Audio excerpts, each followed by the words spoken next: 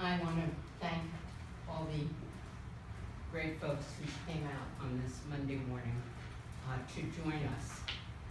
Last week, I received a letter from a member of the New Jersey Board of Nursing who laid out what was really a troubling and I would say appalling situation that is occurring there.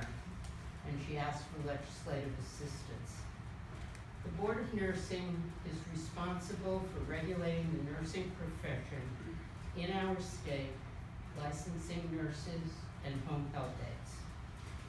The board oversees hundred and forty-three thousand five hundred RNs, LPNs, and advanced practice nurses, along with eighty thousand certified home health aides, and all educational programs for these professionals.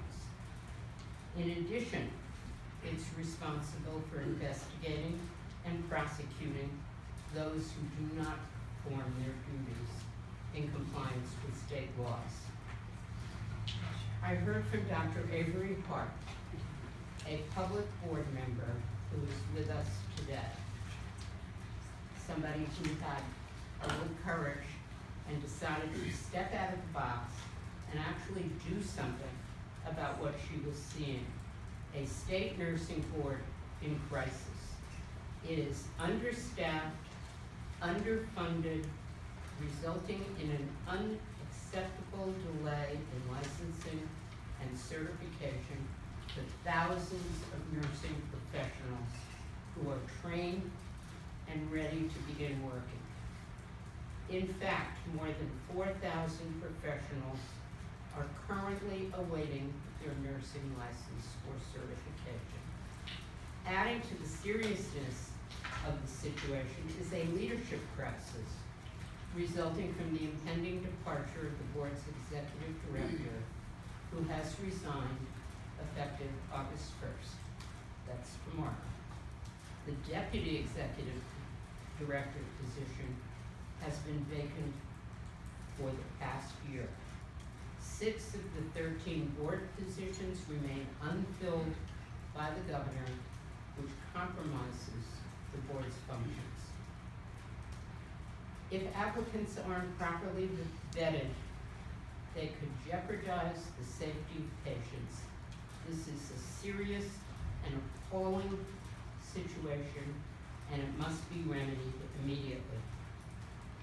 We together, along with my colleague Senator Bob Gordon, are calling on the Christie administration to take immediate action to address the staffing crisis at this board. And we are asking the governor to immediately fill the six vacancies, along with an executive director and deputy, which must be hired.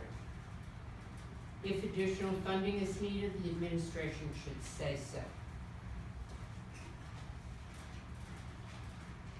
So I would like to now turn to my colleague, the chairperson of the Senate Oversight Legislative Committee, to add to my remarks here. We, uh, also added two hundred and fifty thousand dollars to the budget this year to address similar back, backlogs in licensing applications for home health aides. The reports of backlogs in the nursing applications are deeply concerning and must be fixed. This is an issue for safety, for patients, and for economic opportunity for our residents. And with that, I'm joined by my colleague, Senator Bob Gordon. Senator Gordon? Thank you, Senator Weinberg, and um, I'd like to thank all of you for being here today to discuss this critical issue. Clearly, we have a crisis of neglect at the New Jersey Board of Nursing that has severe ramifications for those entering or currently serving in the nursing and home health care professions, for those people who depend on their services and on the quality of health care in New Jersey. The Board of Nursing also, as Senator Weinberg mentioned, oversees the uh, certification of home health aides. And it took us three years of budget resolutions get two hundred and fifty thousand dollars added to the budget for staffing to address the backlog in home health care aid licensing applications at a time when there's been a crying need for home health aides and when the healthcare industry is one of the fastest growing sectors in the economy in New Jersey and in the nation. And I have to tell you, I've been ringing the alarm bell uh, on the Board of Nursing for three years. Beginning in the summer of 2014, I began meeting with the leadership of the Division of Consumer Affairs on this issue of home health aid certification. It has been taking them months to process these applications. Uh, These are uh, people who are really at the bottom of the economic ladder and really don't have the luxury of waiting for uh, uh, the bureaucracy to churn out the, the paperwork. Uh, They often are compelled to, to just move on to other opportunities to, to feed their, their families. Um, And so um, we gave them some additional money.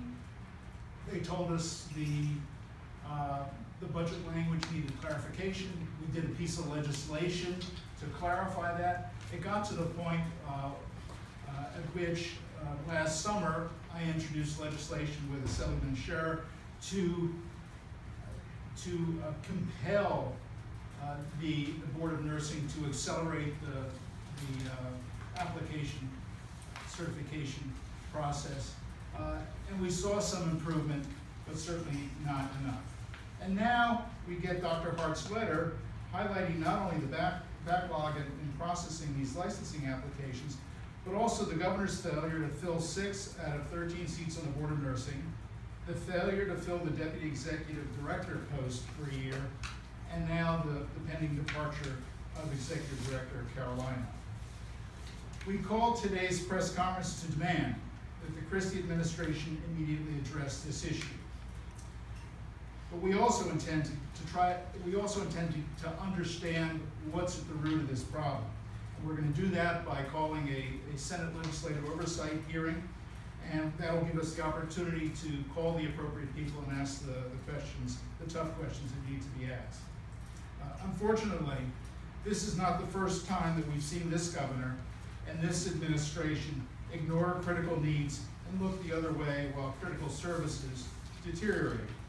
We saw the same cr- crisis of neglect during the foreclosure crisis, when New Jersey was the, was only one of, was the only one of fifteen states receiving federal grants that couldn't get the grant money out to the thousands and thousands of people who needed it.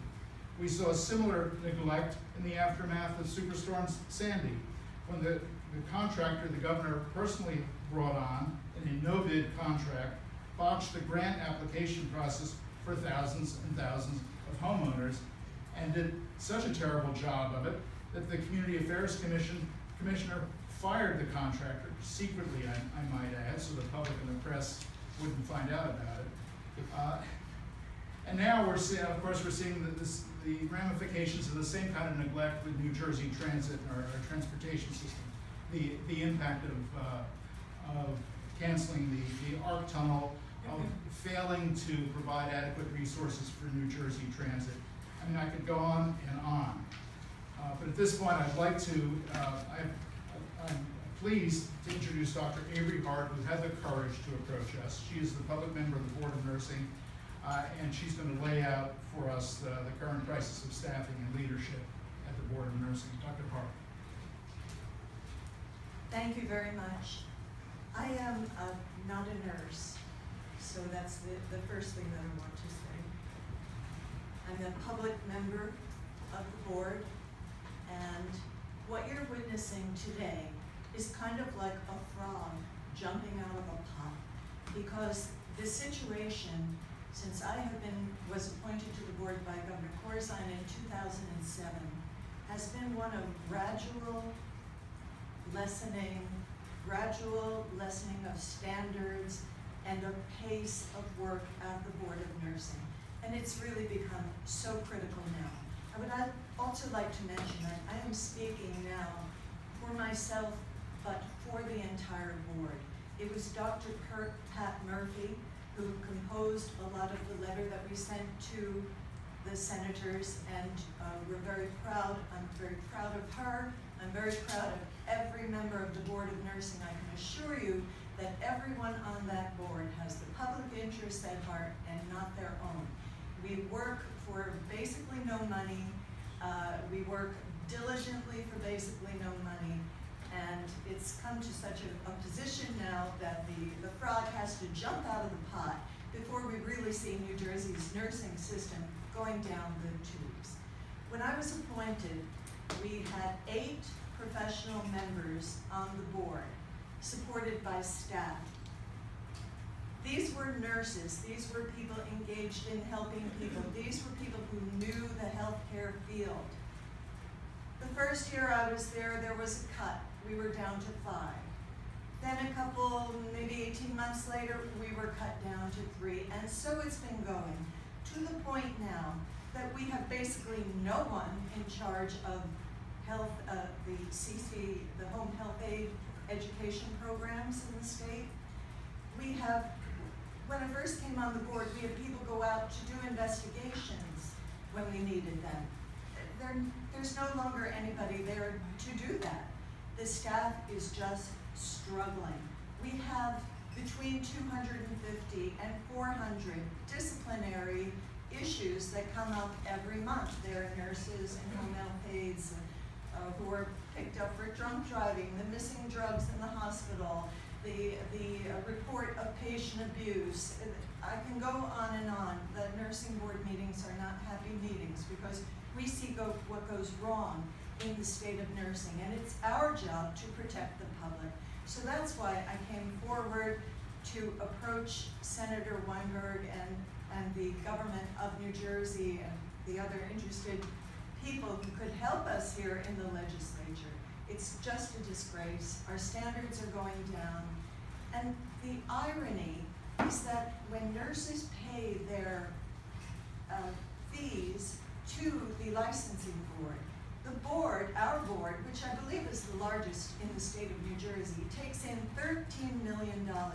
That would be more than adequate to fund us and raise our standards and do all the things that we should be doing in an advanced society to protect the citizens. But that money just gets swept away, I don't even know where, and we're forced to, to beg for this or that, and usually, until now, or, or very often, uh, from my point of view, I've just seen uh, our pleas to other agencies go unanswered. So I'm very grateful to the senators who are here today, and uh, very grateful for the response of all of you who are interested in this really critical matter that impacts all of us and our families. Thank you very much for coming, and thank you, senators. Uh, thank you very much, uh, Avery. And, uh, next we have Dr. Benjamin Evans from the New Jersey State Nurses Association President. Dr. Evans. Thank you, Senators. Good morning, everyone. I am a nurse, and I've been a nurse for 43 years. I'm an advanced practice nurse, and I trained and graduated in 1979. I have no partisan message in this. I have an interest in the fact that the citizens of New Jersey are not able to get access to health care in a timely manner. When you have 4,100 applicants awaiting certification or an approval to test, you have an impact. This morning I received an informational email that told me from the educational division at the Board of Nursing that due to the lengthy wait time, the pass rate for registered nurses on first test is 50%. One out of every two. That is deplorable.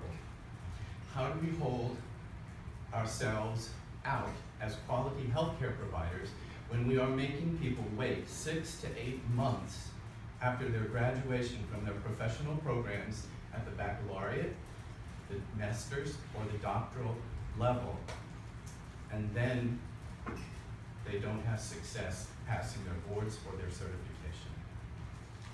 We have seen numerous individuals come to our association because they are unable to get through the call center at the Board of Nursing, and they don't know what to do with that. I called for some information four weeks ago. Dr. Carolina said she would have someone follow up with me. Two weeks later, when she returned to the office, she followed up with me because no one followed up. That's unexcusable. It's really unexcusable. Think about the time and the effort that nurses put into their education. We're not secretaries. We do complex care. We're beginning to see that advanced practice nurses are filling the gaps in primary care where physicians cannot fill them in areas like family practice, adult gerontology. I work with Medicaid clients primarily, mostly who are addicted and mentally ill. I can tell you, there's not a lot of folks running out there to take care of these. So these are some of the issues that the backlog, the workflow, and the vacancies at the Board of Nursing, how they are impacting our citizens here in New Jersey. It has risen to such a level that this is unfortunate that we have to meet here today, but something has to be done about it. And so I bring our voice from the non-union professional association to say that New Jersey has to fix this. We have to get this on track. Thank you. Thank you, Dr. Evans. Uh, next is Ann Twomey, President of the Health Professional and Allied Employees. Ann? Thank you. So I'm Ann Twomey, I'm president of HPAE, which is Health Professionals and Allied Employees. We're a union that represents um, over thirteen thousand nurses and health professionals throughout the state. Uh, I'm here also to um, tell you a little bit about how the Board of Nursing impacts on nursing practice. Mean, we've heard a clear explanation that the overview of the Board of Nursing has on licensure and education, and by the way, nurses have, uh, have a requirement for continuing education for licensure, but also to make sure that there's an adequate number of licensed nurses in the state. The Board of Nursing is one of these, um, and divisions that the public assumes is doing their job, and they do until they're starved for funds, and that, that, um, makes it difficult for them to do it. But in addition, uh, I wanna talk a little bit about the impact on, the, the nursing profession itself.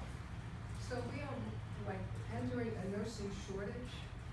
We're of probably one of the largest nursing shortages that we've had in a long time. And to have nurses potential nurses, thousands of which are waiting to take their tests or to, to be processed, backed up and not have the supply is not obviously fair to the, to the uh, citizen, citizens of this state. A few years ago, a bill was passed called the Cullen Bill, and it is law in the state of New Jersey, and there are weaknesses in that law, but part of the result of that law is that there are many nurses who are reported to the Board of Nursing for, um, practice issues. And when they are reported to the Board of Nursing, oftentimes their licenses are suspended. And there's thousands of nurses that are put in that situation. They have to wait twelve months or eighteen months to get their day in court, so to speak. And many of which are exonerated. But in the meantime, they lose their livelihood. Their reputation is, is negatively impacted. So it is irresponsible to, and it's not a protection of the public, to have these delays and not provide the support to, to, to a, a division that certainly needs it. And as was certainly said, the hundred and forty thousand nurses that we have in New Jersey pay a fee, a, a licensure fee, an annual fee. And so the funds are there. Thirteen million dollars, uh, would certainly, uh, should go to all of it, this program. But it has been siphoned off to the general, to the, uh, general budget. We know that. So we're here to say that the, the resolution is simple. Put the staff back to work at the Board of Nursing so that the nurses can get back to work as well. Okay. Thank you. Uh, next, and, uh, she said they bring her out of retirement every so often, Virginia Treacy, former executive director of JNESO. Virginia? Good morning, all. Uh, yes, it's true, and I love being retired, but I'd also like to come out every once in a while just to make sure my trouble causing genes still work. Um, and they do. You're in the right company. That's why it's so much fun. In, in any event, I am also a registered nurse. I've been one for, I think, forty-six years, somewhere around there. Although I could not find myself in the licensure registry. And it seems kind of ironic, um, because I am of an age to be technically challenged on occasion. Uh, one of the things that I noted was the lack of funds and the lack of staff has resulted in a horrific situation on the internet. There are competing pages listed, some that have the current Division of Consumer Affairs Director listed still as acting, George Herbert as the Director of the Board, that hasn't been for years. And one of the things that's very uh, deficient is that if a nurse needs to find out how it is that she should regulate her practice, the only thing available to her is to go online. Um, it's been many, many years since the board issued hard copies of our Practice Act. Uh, there is no direct communication when a rule or a reg changes. So the average practicing registered nurse or licensed nurse or even certified healthcare person have no way of knowing whether or not they're in compliance with the existing laws and regulations. And that makes the function of the board to protect the public almost impossible, if not absolutely ridiculous. If I need to find something and I go online, I'm told, first of all, that there's only hundred and twenty-seven of, thousand of us instead of hundred and forty, doesn't do anything to help protect the public. I do concur with the previous speakers, and I wanna point out so that nobody forgets, even though the board is overwhelmed with complaints about uh, nurses' practice, it is a very small fraction of the overall licensed personnel in this state who are generating that thirteen million dollars. And the fact that, uh, that Ann stressed, I can be out of work for years awaiting the adjudication of my case. All of these things led, lead to public dismay. That's what it is. There's no protection for the nurse, there's no protection for the public, and we do, we are the last advocates at the bedside for patients. And if you don't provide for us, we can't provide for you. And that's, I do thank the two senators for trying to move along this institution. Um, and by the way, I think I noted that Senator Gordon also just did a, a thing on introducing two more people to sit on the board, nursing educators.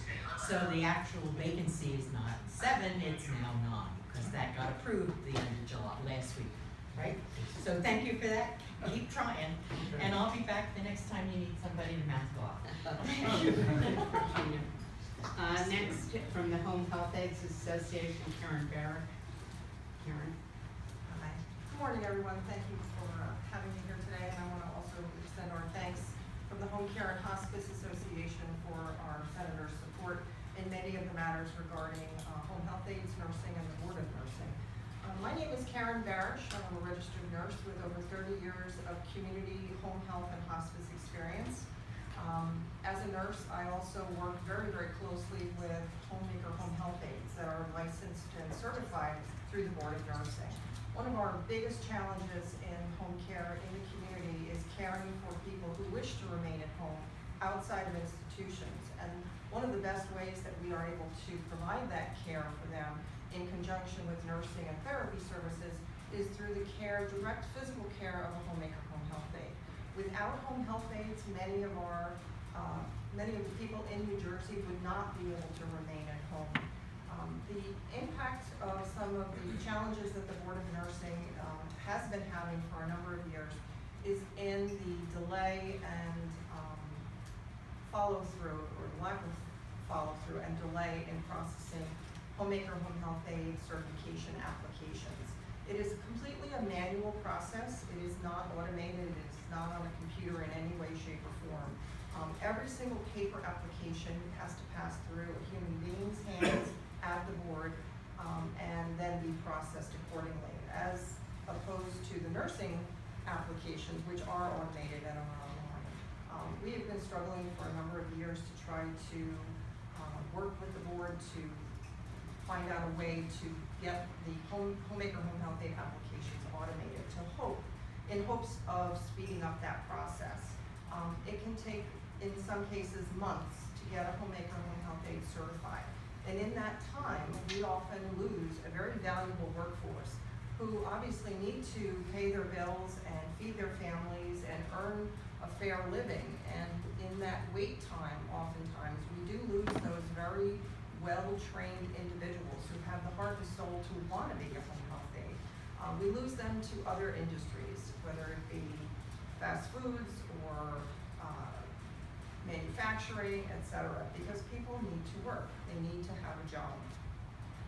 Um, when a home health aide chooses to work in this profession, they have to take a seventy-six hour training program, a course, taught by registered nurses and approved through the Board of Nursing. Um, I think some of our other colleagues had already mentioned earlier that there is also at times significant delays in the approval process for those licensed agencies throughout the state um, that can, are able to offer that training program. So that would be another area that we would wish that the board would uh, try to expedite through changes in their internal processes, et cetera, or applications. Um, When I was a visiting nurse a number of years ago, uh, and I'm uh, still in the industry at the Home Care and Hospice Association, the home health aides made such a difference. As a registered nurse, I could not be with patients at home twenty-four hours a day. And for the most part, home health aides aren't with the patients twenty-four hours a day either, but they are there with them for more extended periods of time, providing essential services, um, personal hygiene, food preparation, they go food shopping, they do laundry, they assist with activities of daily living. For many people at home, if they did not have a home health aide to support them in those, what we would consider routine, somewhat taken for granted functions, they would not be able to stay safely at home. Nursing and home health aides in home care really do combine the humanity and the science of taking care of people. And more and more people insist that they wish to stay at home, which is where they belong if it's safe for them uh, to be provided with care. So I, on behalf of the Home Care and Hospice Association, all of our agency members, nurses, and home health aides, um, I thank our senators and urge uh, everyone to uh, try to work with the Board of Nursing financially and operationally to improve the processes that we are struggling with uh, for the last many years. Thank you. And last, Elizabeth uh, from Mercer County Community College, Director of Nursing Education. Thank you. Good morning, everyone. I'm Liz Mizerek, the Director of Nursing Education at Mercer County Community College. And I can tell you that the issues of the Board of Nursing are not new for us. It has been affecting our graduates for quite some time. A graduate of my nursing program will pay up to five hundred dollars in fees to the Board of Nursing for the privilege of taking their licensure exam. They are being delayed in their ability to take that exam, and every month past graduation that they are delayed in taking their exam, it increases the possibility that they might not be successful. Now, some of my graduates already have job offers, they're just waiting on their license. When they call the call center for the Board of Nursing, I know we mentioned that before this morning, they are consistently given inaccurate information. And the students all know the only way to get accurate information is to drive to Newark and speak to one of the staff members, and then they can maybe get their authorization to test. The other issue that's affecting all of my colleagues, and I have many in, in our Council of Associate Degree programs, is that the Board of Nursing accredits our nursing programs to assure that we are providing the highest quality education program. it is taking them over a year to respond. So we'll put together all of the data and we'll present it to the board, and it takes them over a year to assure that we can continue to provide quality nursing education. So this is really impacting our students and the overall community. They're losing these economic opportunities after spending years, two plus years, and uh, a number of dollars to obtain their nursing education. We at Mercer are dedicated to ensuring student success, but when the Board of Nursing is not as committed to their success, it makes it very difficult for them. So I thank you both for, for this opportunity, and again, as everyone else this morning has said, I, I urge us to, um, fund the nursing board appropriately. Thank you. Thank you very much. Now you know why I used the word appalled at the opening of this press conference.